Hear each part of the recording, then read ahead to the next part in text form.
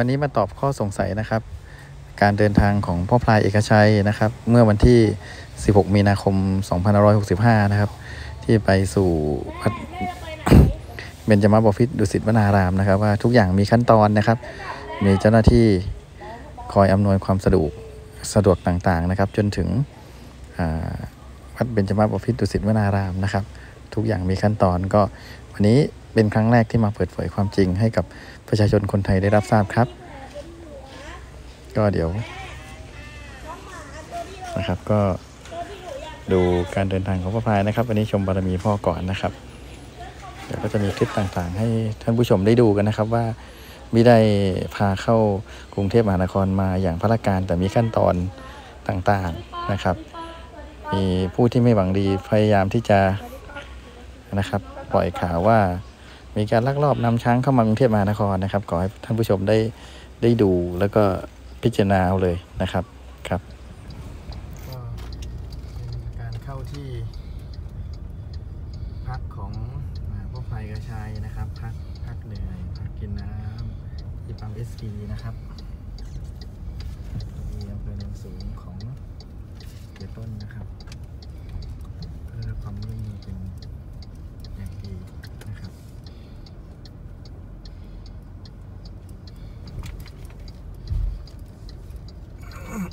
วันของพ่อพายเอกชัยนะครับ ที่โคราชนะครับ รับเสด็จขององค์พ่อไปก็ใชัยอย่างสมเกียรตินะครับ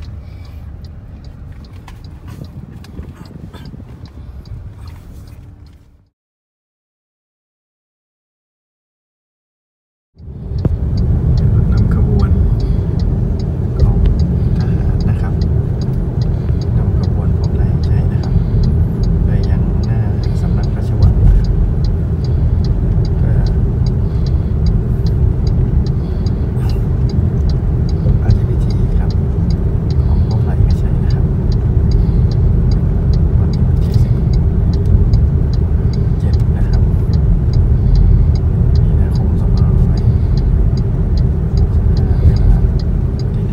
ก็หน้าวัดเบญจมาผิดแล้วนะ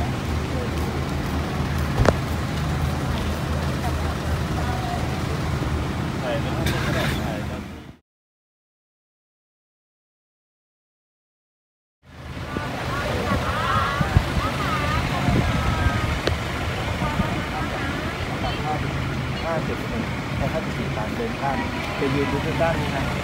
คือ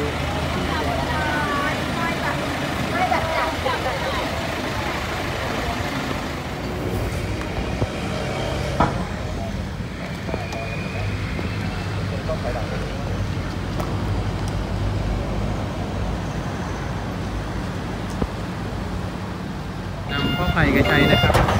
มาลงที่ อยู่หัวรอเก้านะครับ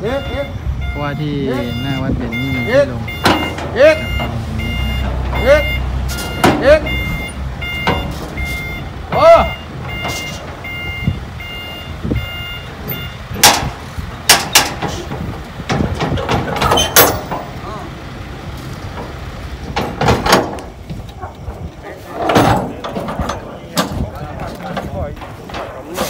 ลงวันกันแล้ว ไป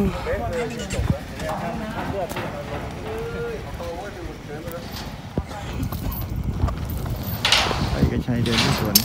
สวนหลวงรอเก้านะครับที่กำลังส